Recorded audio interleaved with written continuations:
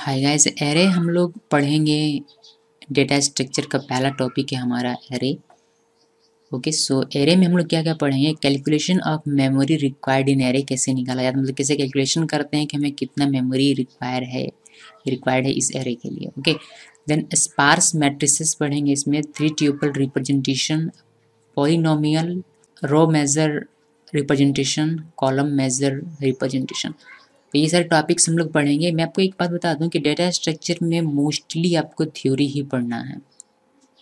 Programme बहुत ही कम आपको मिलेगा, ठीक है? सो या ये बात आपको पहले जान लेनी चाहिए कि इस सीरीज़ में हम लोग ज़्यादातर थ्योरी पढ़ेंगे प्रैक्टिकल बहुत ही कम पढ़ेंगे। बिकॉज़ प्रैक्टिकल इसका किया जाता है सी और सी प्लस प्लस जिस तरीके से हम लोग करते हैं, बिल्कुल उसी तरीके से। लेकिन इसमें सिर्फ़ मैथमेटिक्स जो कॉम्प्लेक्स मैथमेटिक्स है, उसका सोल्यूशन हम लोग यहाँ करने वाले हैं। सब प्रोग्राम तो हम लोग सी और सी प्लस प्लस की तरह की तरह ही करेंगे तो वह तो मैं आपको नहीं बताऊँगा फिर से कि कैसे सी आउट क्या होता है फिर प्रिंट एफ़ क्या होता है वह तो हम लोग यहाँ नहीं जानेंगे जो प्रैक्टिकल हम लोग ज़्यादा जाने।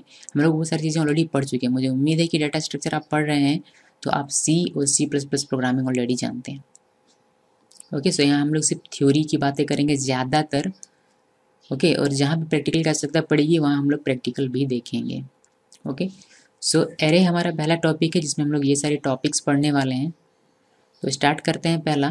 Calculation of memory required in array one D array आपको पता होगा कि array one D array two D array and multi dimensional array ये होता है। Okay so one D array में आप कैसे कैलकुलेट करेंगे कि कोई भी अगर आप वन डी एरे डिक्लेयर करते हैं, कोई कोई भी वेरिएबल आप बनाते हैं वन डी एरे का उसमें कितना मेमोरी वह ऑक्यूपाई करता है आपके मेमोरी में वह कैसे हम लोग कैलकुलेट करते हैं वह अभी हम लोग यहाँ देखने वाले हैं ओके सो so, इसका एक सिंपल सा फॉर्मूला जब हम बात वन डी एरे की करते हैं तो सिंपल सा का एक फॉर्मूला है memory required in bytes equal size of data type multiplication size of array ठीक है? एग्ज़ाम्पल में यहाँ मैंने लिखा हुआ इंट ए जैसे कि आपने कोई प्रोग्राम में अपने सी प्रोग्राम या फिर सी प्लस प्लस में आपने एक वेरिएबल डिक्लेयर किया है एरे टाइप का इंट ए और सब स्क्रिप्ट दिया है आपने यानी कि एरे का साइज़ आपने दिया है टेन तो ये वेरिएबल कितना मेमोरी रिज़र्व करेगा, वो हम लोग कैसे कैलकुलेट करेंगे, वही यहाँ इस फॉर्मूले के थ्रू हम निकाल सकते हैं ओके सो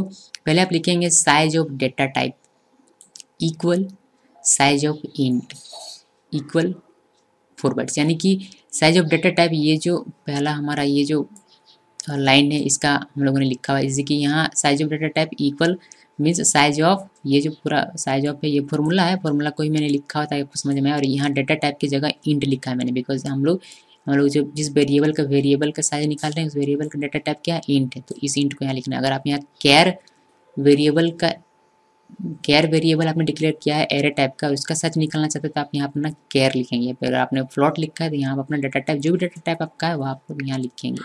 ओके सो यहाँ हम लोग वही लिखते हैं और इसका हम लोग जानते हैं कि इंट डेटा टाइप का जो साइज़ होता है वो फोर बाइट्स का होता है। याद रखिएगा किसी किसी कंपाइलर में किसी किसी सिस्टम में टू बाइट्स ये कैलकुलेट करता है और किसी किसी सिस्टम ये फोर बाइट्स कैलकुलेट करता है okay so size of bytes हमारे पास है size sorry size of data type हमारे पास कितना है? फोर बाइट है, जो कि इंटीजर का है। यहाँ इंटीजर हम लोगों ने लिया था इंटीजर का फोर बाइट है। साइज़ ऑफ़ एरे हम लोगों ने यहाँ टेन लिखा हुआ है। तो मेमोरी रिक्वायर्ड हो जाएगा फोर मल्टीप्लीकेशन टेन इक्वल हो जाएगा फोर्टी बाइट यानी कि ये जो पूरा आपका, ये जो आपने वेरिएबल डिक्लेयर किया है, ये आपके मेमोरी में फोर्टी बाइट्स की जगह लेगा। ठीक है? फोर्टी बाइट्स इसको जगह चाहिए।